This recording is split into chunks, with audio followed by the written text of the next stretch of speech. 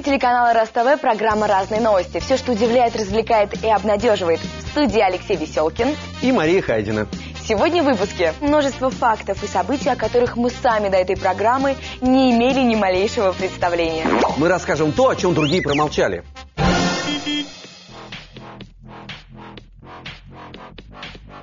Американцы Фриц Гроуба и Стефан Вольт смастерили одноместный реактивный автомобиль, работающий на газировке.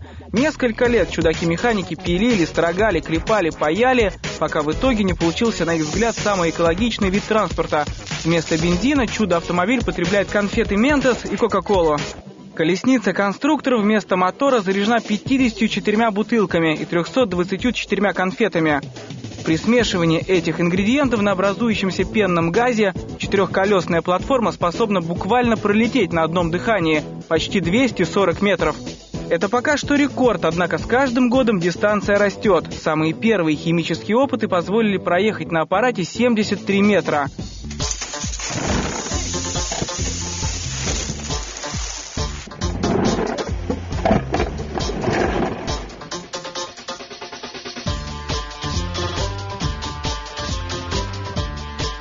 Фриц и Стефан на достигнутом не останавливаются. Они уже запустили свое собственное реактивное развлекательное шоу, в рамках которых демонстрируют чудеса леденцов и шипучки, которые уже принесли изобретателям три рекорда Гиннесса, номинацию на премию Эмми и пожизненное спонсорство производителей их альтернативного топлива. То там, то здесь, словно добрый призрак в разных частях Лондона, появляется этот веселый желтый фургончик, продавая вкусные сладости местным детишкам и лодочникам. Первый в мире фургон-амфибия, который торгует мороженым на суше и на воде, уже год курсирует по реке Темзе. На борту вафельные рожки с кремовой начинкой, крем-брюле и пломбиры всех видов со всевозможными наполнителями. Я капитан плавающего фургона с мороженым. Это безумие. Я надеюсь, что наш фургон-амфибия знаменует собой начало великого возрождения торговли мороженым на берегах Великобритании. А возрождать есть что. Вы не поверите, но продавцы мороженого в Лондоне действительно испытывают серьезные затруднения, связанные с их бизнесом. Все чаще власти запрещают фургоны в жилых комплексах, парках и рядом со школами из-за озабоченности по поводу шума, мусора и детского ожирения, которым это способствует. Так что серые воды Темзы, на которых этот канареечный фургон смотрится еще ярче, и как реклама, и как призыв обратить внимание на проблему, самое подходящее место для розничной торговли мороженым в современной британской столице. Этот фургончик – напоминание англичанам о традициях и одновременно призыв обратить внимание на существующие проблемы. Но неунывающий Дэйв не теряет оптимизма и готовится к большому турне по пляжам Великобритании, предлагать рожки с мороженым остолбеневшим курортникам, а далее пройти Ла-Манш и заехать в Европу. А там, глядишь, и до каналов Венеции добраться. Размер имеет значение, так решили сотрудники одной обувной компании во Флориде и смастерили к столетнему юбилею фабрики не просто ботинок, а автобашмак 747 размера. Именно такая охотничья калоша была выпущена одной из первых американскими обувных дел мастерами. Стоит отметить, что этот автоботинок сверхпрочен, как его резиновый прототип. Все его части выполнены из стали и покрыты стекловолокном, а подошвой послужил дизельный форт.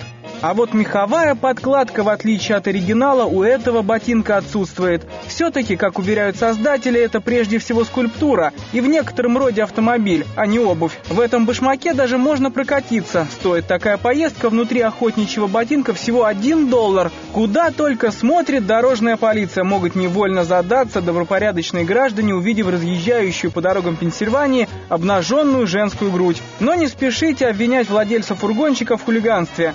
Это даже не реклама, все гораздо серьезнее. В некоторых американских штатах, в том числе и в Пенсильвании, законом запрещено кормление детей обнаженной грудью в общественных местах. И дабы мамы из Питтсбурга и его пригородов не оказались за решеткой, художница Джиллил Миллер за свои деньги купила и переоборудовала старый фургончик, превратив его в передвижной пункт кормления грудничков. Грузовик оборудован всем необходимым, чтобы мама малыша могла покормить свое чадо грудью, не смутить окружающих процессом кормления и не спровоцировать полицейских на собственный арест. Конечно, все это очень странно. Кормить младенцев грудью нельзя, а разъезжать внутри обнаженной груди размером с двухэтажный дом можно.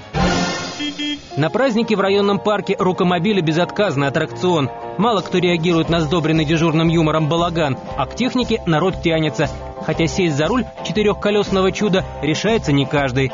Удивительное ощущение вызывает эта техника при внешнем сходстве с велосипедом. Во время катания не покидает чувство, что ты находишься в лодке, то есть занимаешься академической греблей. Опа! Подвижное сиденье, рычаги весла. Именно в гребле и подсмотрел все это изобретатель Леонид Крейндлин. Остальное было делом техники. Бывшему инженеру авиационной промышленности не составило особого труда выточить и собрать то, что приобрело умозрительные очертания. Эффект превзошел самые смелые ожидания. Для нас с вами все, хотите, садитесь. А? Одна нога не работает. А здесь без ноги, здесь можно руками, в том-то и фишка. Такому напору и силе убеждения позавидует любой промоутер. Правда, в данном случае стиль общения диктуется не желанием продать. У изобретателя другие цели. Надо на практике оценить достоинства и недостатки своего детища, чтобы потом доработать модель и в конечном счете облегчить жизнь тому, у кого возможности ограничены. Сюда, в школьный спортивный зал, по воскресеньям приходят все желающие. Кому-то эти занятия позволяют не только выплеснуть физическую энергию, но и умственную. Иван с диагнозом аутизм закончил технический институт и готовится в аспирантуру. У него есть идеи относительно тюнинга машины Крейндлина. Чтобы он добавил к этим автомобилям динамо-машинку таким образом вырабатывать электроэнергию. От этой электроэнергии могла бы и эта самая камера работать. Быть может, молодая мама нашла бы новшеству Ивана и другое применение, но пока она только открывает рукомобиль. А вы первый раз сели? Да, первый раз. Ну как впечатление? Отлично. Что называется, проходила мимо и попала в сети вездесущего изобретателя. Спрос на развлечения инженерная мысль тоже не игнорирует. Ну там нужен дизайн соответствующий. Представляете, там ладья или там дракон там в том числе. Потом есть люди, которые любят э, лобовые столкновения делать. Здесь можно такую вещь сделать. Хочу поставить амортизаторы, пружинные, например, так, и э, прыгать с трамплинчиков. Все это дело будущего, а на повестке дня большой спорт. Таков нынче тренд. Скоро Олимпийские игры в Сочи. Его с рукомобилем пригласили стать участником волонтерской программы. Быстрее, выше, сильнее. Такой теперь девиз изобретателя.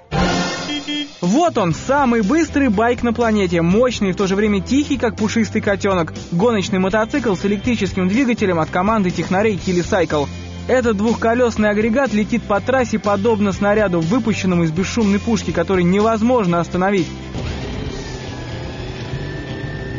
Билл Дюбе, автор и конструктор этого молниеносного двухколесного создания. Днем Билл исследователь и ученый, а вот все остальное время он проводит в гараже, проектируя все новые виды электротранспорта. Все детали мотоцикла общим весом 280 килограмм выполнены собственноручно сотрудниками конструкторского бюро Cycle. Принцип работы электромотоцикла, по словам инженеров, такой же, как у беспроводной электродрели. Внутренности все те же самые, только еще колеса есть. Дайте-ка мне дрель. Из чего состоит беспроводная дрель? Аккумулятор, так, мотор и дроссель. И эта штука действует точно так же. Правда, эта дрель намного мощнее обычной – 350 лошадей. Это в четверть раза больше, чем у обычного бензинового мотоцикла. А для того, чтобы достичь запредельной скорости, мотоциклу необходима подзарядка от 970 аккумуляторов. Этакая маленькая электростанция на колесах. Как говорят изобретатели, поговорка «не влезая, то убьет» как никогда применима для их мотоцикла. Из-за проблем с батареей на последней гонке столб плазмы вырвался из-под сиденья мотоцикла. Вот эта штука чуть не взорвалась. Мы ее хорошенько подкоптили. Так что сотни предохранителей и открытых контактов расслабиться ездаку не дадут. Однако, устранив неполадку и заменив обычные батарейки на литиевые с секретным ингредиентом в виде наночастиц, Биллу с коллегами удалось добиться того, что мотоцикл заряжается в течение пяти минут. При этом батареи не загорятся и байкер останется жив. А в остальном этот мотоцикл мало отличается от привычного байка, разве что своей скоростью и безвредностью для окружающей среды. И еще одна новость. Теперь наш телеканал есть и в сообществах социальной сети ВКонтакте. Ищите нас, присоединяйтесь к нам, пишите нам, будем вместе делать телеканал РАС-ТВ интересней и веселей. В свою очередь, мы приглашаем всех наших телезрителей к сотрудничеству. Пишите и сообщайте о том, что необычного происходит рядом с вами, и присылайте видеоматериалы. И помните, покуда на белом свете хоть одному человеку будет интересно жить, разные новости будут в эфире. Всего доброго. До встречи!